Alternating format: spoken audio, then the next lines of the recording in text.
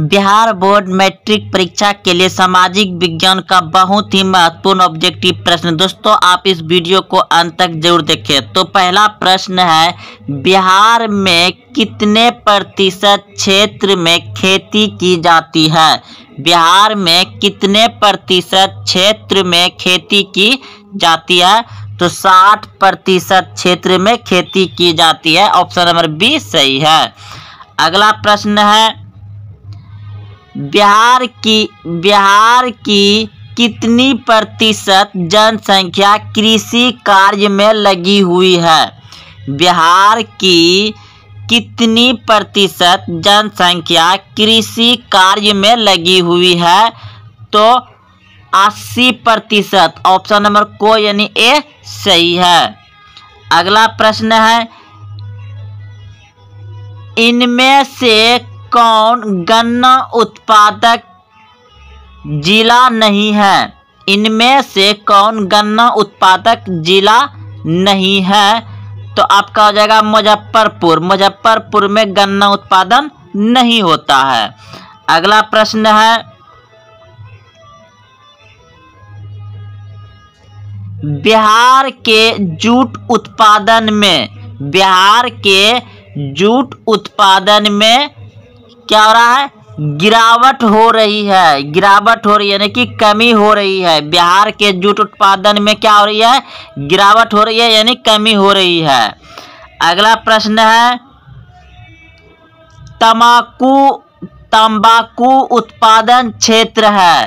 तंबाकू उत्पादन क्षेत्र है तो आपका दियारा क्षेत्र, ऑप्शन नंबर डी, बिल्कुल सही है, गंगा का दियारा क्षेत्र।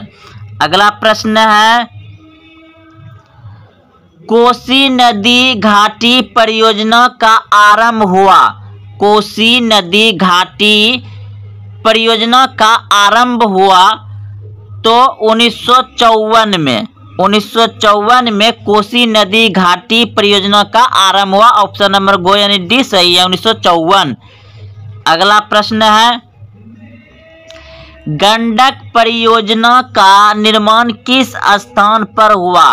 गंडक परियोजना का निर्माण किस स्थान पर हुआ? तो ऑप्शन नंबर खो, बिल्कुल सही है वाल्मीकि नगर। अगला प्रश्न है, बिहार में नहरों द्वारा सर्वाधिक सिंचाई किस ज़िले में होती है? बिहार में नहरों द्वारा सर्वाधिक सिंचाई किस ज़िले में होती है? तो रोहतास ज़िले में ऑप्शन नंबर को ए सही है। अगला प्रश्न है, बिहार में बिहार में कुल कितने अधिसूचित क्षेत्र में वन का विस्तार है? बिहार में कुल कितने अधिसूचित क्षेत्र में वन का विस्तार है? तो ऑप्शन नंबर ए बिल्कुल सही है। छः हज़ार तीन सौ चौहत्तर किलोमीटर छः हज़ार तीन सौ चौहत्तर किलोमीटर ऑप्शन नंबर को, यानी ए सही है। अगला प्रश्न है कुबेश्वर स्थान किस ज़िले में स्थित है? तो दरभंगा में ऑप्शन नंबर खो सही है। अगला प्रश्न है कांवर झील स्थित है। कांवर झील स्थित है तो बेगूसराय में कांवर झील कहाँ स्थित है? बेगूसराय में। अगला प्रश्न है, संजय गांधी जैविक उद्यान किस नगर में स्थित है? संजय गांधी जैविक उद्यान किस नगर में स्थित है? तो पटना में, ऑप्शन नंबर गो यानी डी सही है, पटना में। संजय गांधी जैविक उद्यान किस नगर में है? पटना में। अगला प्रश्न है बिहार में खनिज तेल मिलने की संभावनाएँ हैं। बिहार में खनिज तेल मिलने की संभावनाएँ हैं। तो ऑप्शन नंबर गो यानी डी बिल्कुल सही है। गंगा के द्रोणी में। चूना पत्थर का उपयोग मुख्य रूप से किस उद्योग में होता है? चूना पत्थर का उपयोग मुख्य रूप से किस उद्योग में होता है? तो सीमेंट उद्योग में ऑप्शन नंबर को सही है। अगला प्रश्न है पैराइट खनिज है। पायराइट खनिज है ओ धात्विक, ऑप्शन नंबर खो सही है। अगला प्रश्न है, बिहार के सोना आयक्स से प्रति टन शुद्ध सोना प्राप्त होता है। तो ऑप्शन नंबर खो बिल्कुल सही है ज़ीरो दशमलव एक से ज़ीरो दशमलव छ ग्राम। ऑप्शन नंबर खो, सही है। अगला प्रश्न है, कहलगांव तापीय विद्युत परियोजना किस ज़िले में अवस्थित है? कहलगांव तापीय विद्युत परियोजना किस ज़िले में स्थित है? तो भागलपुर में ऑप्शन नंबर को सही है। अगला प्रश्न है, कैंटी तापीय विद्युत परियोजना किस ज़िले में स्थित है? कंटी तापीय विद्युत परियोजना किस ज़िले में स्थित है? तो मुजफ्फरपुर में ऑप्शन नंबर सी सही है, यानी घो। संविधान प्रारूप समिति के अध्यक्ष कौन थे? संविधान प्रारूप समिति के अध्यक्ष कौन थे? तो इस प्रश्न का उत्तर हो जाएगा आपका ऑप्शन नंबर ए, बिल्कुल सही है। डॉक्टर भीमराव अंबेडकर। डॉक्टर अंबेडकर। अगला प्रश्न है, भारतीय राष्ट्रीय कांग्रेस के संस्थापक कौन थे? भारतीय राष्ट्रीय कांग्रेस के संस्थापक कौन थे? तो इस प्रश्न का उत्तर हो जाएगा आपका ऑप्शन नंबर सी, बिल्कुल सही है, ए, ओ, ह्यूम। अगला प्रश्न आपका, भारतीय संविधान की आठवीं अनुसूची में क्या वर्णित है? भारतीय संविधान की आठवीं अनुसूची में क्या वर्णित है? तो इस प्रश्न का उत्तर हो जाएगा आपका ऑप्शन नंबर ए, बिल्कुल सही है। भाषाओं की सूची। भारतीय संविधान की आठवीं अनुसूची में क्या है? भाषाओं की सूची। और टोटल भाषा बाईस भाषा है। तो चलते अगले प्रश्न की ओर। प्रश्न है, इस समय भारत में कौन सी दलीय व्यवस्था मौजूद है? इस समय भारत में कौन सी दलीय व्यवस्था मौजूद है? तो ऑप्शन नंबर सी बिल्कुल सही है, बहुदलीय व्यवस्था है। अगला प्रश्न है, सूचना का अधिकार कानून कब लागू हुआ? सूचना का अधिकार कानून कब लागू हुआ? तो इस प्रश्न का उत्तर हो जाएगा आपका ऑप्शन नंबर सी बिल्कुल सही है 2005 में। सूचना का अधिकार कानून कब लागू हुआ?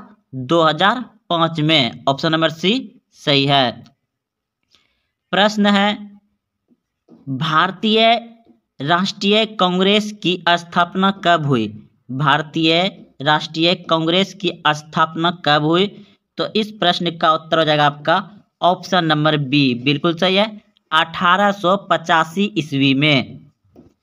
अगला प्रश्न है, राज्य पुनर्गठन आयोग की स्थापना कब हुई? राज्य पुनर्गठन आयोग की स्थापना कब हुई? तो उन्नीस सौ छप्पन ईस्वी में, ऑप्शन नंबर सी सही है। अगला प्रश्न है, संयुक्त राष्ट्र संघ की स्थापना कब हुई? संयुक्त राष्ट्र संघ की स्थापना कब हुई? तो इस प्रश्न का उत्तर हो जाएगा आपका ऑप्शन नंबर बी बिल्कुल सही है। 1945 ईस्वी में संयुक्त राष्ट्र संघ की स्थापना कब हुई है? 1945 ईस्वी में। अगर आपको डेट सहित पूछ दिया जाए तो क्या करिएगा? 24 अक्टूबर 1945 लगाइएगा। अगला प्रश्न है, सार्क का मुख्यालय कहाँ है? सार्क का मुख्यालय कहाँ है? तो काठमांडू में। ऑप्शन नंबर सी, बिल्कुल सही है। सार्क का मुख्यालय कहाँ है? काठमांडू में। अगला प्रश्न आपका। भारत में पहला परमाणु परीक्षण कब हुआ? भारत में पहला परमाणु परीक्षण कब हुआ? तो इस प्रश्न का उत्तर हो जाएगा आपका ऑप्शन नंबर बी। बिल्कुल सही है। उन्नीस सौ चौहत्तर ईस्वी में। भारत में पहला परमाणु परीक्षण कब हुआ? उन्नीस सौ चौहत्तर ईस्वी में। ऑप्शन नंबर बी सही है। अगला प्रश्न है पंचायत समिति का प्रमुख कौन होता है? पंचायत समिति का प्रमुख कौन होता है? तो पंचायत प्रमुख ऑप्शन नंबर डी सही है। अगला प्रश्न आपका।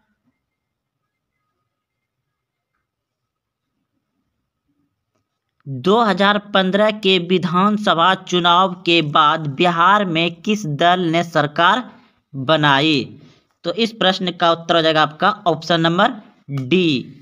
इनमें सभी ने, इनमें सभी ने जनता दल, यू राष्ट्रीय जनता दल और कांग्रेस सभी ने बनाई। अगला प्रश्न है, सूचना अधिकार किस वर्ष लागू हुआ? सूचना अधिकार किस वर्ष लागू हुआ? तो 2000 वर्ष 2005 में 2005 में वर्ष 2005 में लागू हुआ सूचना का अधिकार। अगला प्रश्न है। एमनेस्टी इंटरनेशनल किससे संबंधित है? तो इस प्रश्न का उत्तर हो जाएगा आपका, मानवा अधिकार। मानवा अधिकार से संबंधित है एमेस्टिक इंटरनेशनल मानवा अधिकार से संबंधित है। अगला प्रश्न है। कांग्रेस का विभाजन किस वर्ष हुआ? कांग्रेस का विभाजन किस वर्ष हुआ? तो इस प्रश्न का उत्तर हो जाएगा आपका, उन्नीस सौ उनहत्तर ईस्वी में हुआ। कांग्रेस का विभाजन कब हुआ? उन्नीस सौ उनहत्तर ईस्वी में ऑप्शन नंबर बी सही है। अगला प्रश्न है बीस सूत्री कार्यक्रम बीस सूत्री कार्यक्रम किस प्रधानमंत्री से संबंधित है? बीस सूत्री कार्यक्रम किस प्रधानमंत्री से संबंधित है? तो इस प्रश्न का उत्तर हो जाएगा आपका Indira Gandhi. Option number B सही है। इंदिरा गांधी से संबंधित है विश्व सूत्री कार्यक्रम। अगला प्रश्न है, किस संविधान संशोधन के द्वारा पंचायतों में महिलाओं को महिलाओं को आरक्षण प्रदान किया गया? प्रश्न एक बार फिर से पढ़ते हैं दोस्तों। किस संविधान संशोधन के द्वारा पंचायतों में महिलाओं को आरक्षण प्रदान किया गया? तो इस प्रश्न का उत्तर हो जाएगा आपका ऑप्शन नंबर डी। बिल्कुल सही है। तिहत्तरवां संविधान संशोधन के द्वारा पंचायतों में महिलाओं को आरक्षण प्रदान किया गया। तिहत्तरवां संविधान संशोधन। अगला प्रश्न आपका। भारतीय राष्ट्रीय कांग्रेस के संस्थापक कौन थे? भारतीय राष्ट्रीय कांग्रेस के संस्थापक कौन थे? तो इस प्रश्न का उत्तर हो जाएगा आपका A, O, Hume, option number B. अगला प्रश्न है। भारत भारत में वित्तीय वर्ष होता है। भारत में वित्तीय वर्ष होता है। एक अप्रैल से इकतीस मार्च तक, एक अप्रैल से इकतीस मार्च तक भारत में वित्तीय वर्ष होता है। एक अप्रैल से इकतीस मार्च तक। अगला प्रश्न है, भारत में कुल कितने राज्य है? भारत में कुल कितने राज्य है? तो अट्ठाईस। अट्ठाईस हो जाएगा। अगला प्रश्न है निम्नलिखित में कौन सा एक मानवाधिकार संगठन है? निम्नलिखित में कौन सा एक मानवाधिकार संगठन है? तो ऑप्शन नंबर बी बिल्कुल सही है। एमनेस्टी इंटरनेशनल एमनेस्टी इंटरनेशनल मानवाधिकार से संबंधित है। अगला प्रश्न है, निम्नलिखित में से कौन सा देश सार्क का सदस्य है? निम्नलिखित में से कौन सा देश सार्क का सदस्य है? तो इस प्रश्न का उत्तर हो जाएगा आपका ऑप्शन नंबर डी। बिल्कुल सही है, भारत। अगला प्रश्न है, योजना आयोग की स्थापना कब हुई? योजना आयोग की स्थापना कब हुई? तो 1950 में। योजना आयोग की स्थापना कब हुआ था? 1950 पचास में। ऑप्शन नंबर ए, सही है। अगला प्रश्न आपका, किस देश ने सुरक्षा परिषद में निषेध अधिकार का सर्वाधिक बार प्रयोग किया? किस देश ने सुरक्षा परिषद में निषेध अधिकार का सर्वाधिक बार प्रयोग किया? तो इस प्रश्न का उत्तर हो जाएगा आपका, चीन ने। ऑप्शन नंबर डी, सही है। अगला प्रश्न है योजना आयोग को भंग कर कौन सा आयोग बना? योजना आयोग को भंग कर कौन सा योजना आयोग बना? तो इस प्रश्न का उत्तर हो जाएगा आपका, नीति आयोग बना। ऑप्शन नंबर ए, सही है, नीति आयोग बना। अगला प्रश्न है, बिहार विधानसभा में कितने निर्वाचित सदस्य है? बिहार विधानसभा में कितने निर्वाचित सदस्य है। तो इस प्रश्न का उत्तर हो जाएगा आपका ऑप्शन नंबर बी। बिल्कुल सही है। दो सौ तैतालीस। बिहार विधानसभा में कितने निर्वाचित सदस्य है? दो सौ तैतालीस। ऑप्शन नंबर बी, सही है। प्रश्न है, सिक्किम भारत का हिस्सा कब बना? सिक्किम भारत का हिस्सा कब बना? तो 1975 ईस्वी में। सिक्किम भारत का हिस्सा बना। अगला प्रश्न आपका। निम्नलिखित में से किस देश ने खुले द्वार की नीति अपनाई? निम्नलिखित में से किस देश ने खुले द्वार की नीति अपनाई? तो चीन ने। ऑप्शन नंबर डी सही है। अगला प्रश्न है आपका।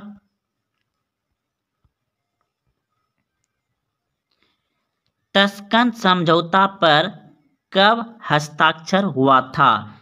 तस्कन समझौता पर कब हस्ताक्षर हुआ था? तो 1966 ईस्वी में हुआ था। तस्कन समझौता पर हस्ताक्षर। ऑप्शन नंबर ए सही है। अगला प्रश्न आपका। भारतीय संविधान के किस अनुच्छेद में न्यायिकालोकन की शक्ति अंतर्निहित है? तो इस प्रश्न का उत्तर हो जाएगा आपका ऑप्शन नंबर सी, बिल्कुल सही है। अनुच्छेद बहत्तर अनुच्छेद बहत्तर। अगला प्रश्न है, बिहार में संपूर्ण क्रांति का नेतृत्व किसने किया? बिहार में संपूर्ण क्रांति का नेतृत्व किसने किया? तो इस प्रश्न का उत्तर हो जाएगा आपका जय प्रकाश नारायण ने। ऑप्शन नंबर डी, सही है। अगला प्रश्न है भारतीय जनता पार्टी की स्थापना कब हुई? भारतीय जनता पार्टी की स्थापना कब हुई? तो इस प्रश्न का उत्तर हो जाएगा आपका 1980 ईस्वी में। ऑप्शन नंबर सी सही है 1980 ईस्वी में। अगला प्रश्न है, पर्यावरण के लिए प्रथम अंतर्राष्ट्रीय सम्मेलन कहाँ हुआ था? पर्यावरण के लिए प्रथम अंतर्राष्ट्रीय सम्मेलन कहाँ हुआ था? तो रियो डी जेरोनिया ऑप्शन नंबर बी बिल्कुल सही है। प्रश्न है, सिक्किम भारत का सहवर्ती राज्य कब बना? तो इस प्रश्न का उत्तर हो जाएगा 1975 ईस्वी में बना। अगला प्रश्न है, राज्य पुनर्गठन आयोग की स्थापना कब हुई? राज्य पुनर्गठन आयोग की स्थापना कब हुई? तो इस प्रश्न का उत्तर हो जाएगा आपका उन्नीस तिरपन ईस्वी में, उन्नीस तिरपन ईस्वी में। अगला प्रश्न है, क्षेत्रवाद का एक कुपरिणाम है। क्षेत्रवाद का एक कुपरिणाम है। तो इस प्रश्न का उत्तर हो जाएगा आपका अलगावाद अलगावाद अगला प्रश्न है संघवादी व्यवस्था का सर्वोच्चतम उदाहरण है। तो इस प्रश्न का उत्तर हो जाएगा आपका अमेरिका। ऑप्शन नंबर डी सही है। अगला प्रश्न है, भारत में कार्यपालिका का संवैधानिक प्रमुख कौन है? भारत में कार्यपालिका का संवैधानिक प्रमुख कौन है? तो प्रधानमंत्री, ऑप्शन नंबर बी सही है, प्रधानमंत्री। अगला प्रश्न है, दशक सार्क की स्थापना कब हुई? तो इस प्रश्न का उत्तर हो जाएगा आपका उन्नीस सौ पचासी ईस्वी में। ऑप्शन नंबर बी सही है। अगला प्रश्न आपका, ग्यारह नवंबर 2008 को निम्नलिखित में से कौन सी घटना घटी? तो इस प्रश्न का उत्तर हो जाएगा आपका ऑप्शन नंबर डी, इनमें से कोई नहीं। अगला प्रश्न है। निम्नलिखित में से कौन एक गुट निरपेक्ष आंदोलन के जनक नहीं थे? निम्नलिखित में से कौन एक गुट निरपेक्ष आंदोलन के जनक नहीं थे? तो इस प्रश्न का उत्तर हो जाएगा आपका ऑप्शन नंबर बी, बिल्कुल सही है, आरफात। अगला प्रश्न है मेक मोहन रेखा क्या है? मेक मोहन रेखा क्या है? तो इस प्रश्न का उत्तर हो जाएगा आपका ऑप्शन नंबर सी। बिल्कुल सही है। भारत एवं चीन के बीच सीमा रेखा। मैकमोहन, रेखा क्या है? भारत एवं चीन के बीच सीमा रेखा। ऑप्शन नंबर सी सही है। अगला प्रश्न आपका, किसने द्विराष्ट्र सिद्धांत का प्रतिपादन किया? किसने द्विराष्ट्र सिद्धांत का प्रतिपादन किया? तो इस प्रश्न का उत्तर हो जाएगा आपका जिन्ना। ऑप्शन नंबर सी, जिन्ना ने द्विराष्ट्र सिद्धांत का प्रतिपादन किया था। जिन्ना। अगला प्रश्न है, क्यूबा संकट किस वर्ष उत्पन्न हुआ? क्यूबा संकट किस वर्ष उत्पन्न हुआ? तो इस प्रश्न का उत्तर हो जाएगा आपका ऑप्शन नंबर सी, बिल्कुल सही है, उन्नीस सौ बासठ ईस्वी में। ऑप्शन नंबर सी, सही है।